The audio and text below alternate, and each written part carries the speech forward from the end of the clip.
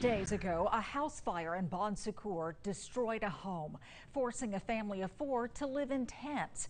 Debbie Williams shares their struggles in a story you will see only on News 5. Well, just think about how hot it's been over the last several days. Now think about what it would be like to have to live in a tent in all this heat after your house has been devastated by fire. Ten days after the fire turned everything they owned to ashes, I didn't ever think in my wildest dreams that this would happen, that we would lose our home. the Goulart family But this is the first one we stayed in. Kind of small, but not too bad. are still living in tents. This is our storage tent.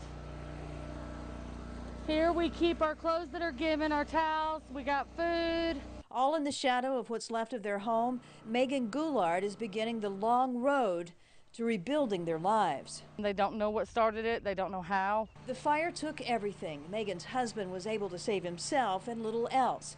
It's her girls, eight year old Bella and five year old Angela, that keep her going. They say, Mama, we're alive. Since the fire, they've started a Facebook fundraiser and they are making progress. Excuse the little bit of a mess. This is where we're staying now. It's cool.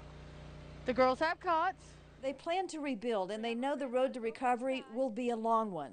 They're hoping the kindness of strangers and friends will help shorten the trip. It's a lot better. We keep our spirits up and we pray every day. On the Baldwin County beat in Bon Secour, Debbie Williams, WKRG, News 5.